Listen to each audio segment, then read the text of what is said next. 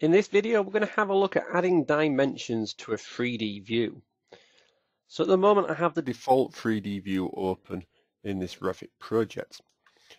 Now, dimensions are 2D annotations. Now, when it comes to working on a 3D model, we have to look at what work plane we're adding these dimensions onto. For that, you need to be on, for example, the Architecture tab where on the right hand side we have this work plane group.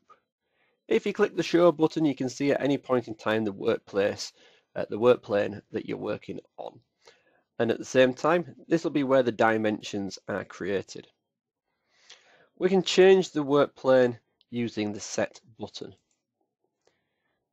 In the work plane window that appears we have three options. We can choose a named work plane for example, an existing level or grid. We can pick a work plane or we can pick a line and use the work plane that it was sketched on as our current work plane. I'm going to select pick a plane and click OK. With pick a plane, we can left click on a face and set that as our work plane. For example, I'm going to use this wall down here. And you'll see that our work plane has now changed to the extent of that wall. We can now turn the show button off because we know where the work plane is and we no longer need to see the representation for that.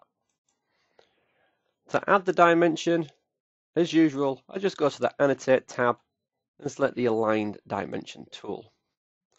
For example, I might go from the wall face over here, which if I can just grab that, and I might then go to the end of the curtain wall over here.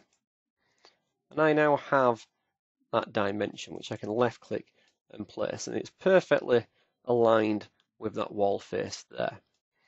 Likewise if I change the work plane back to one of the lower levels so I'm going to go architecture tab we'll show the work plane so you can see what's happening.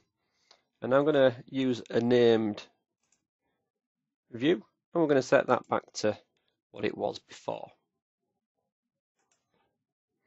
With that set, I'm going to do the exact same dimension, or as close as possible.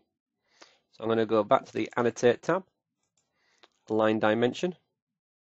I'm going to start on the wall face over here. I'm going to pick the end of the curtain wall over there.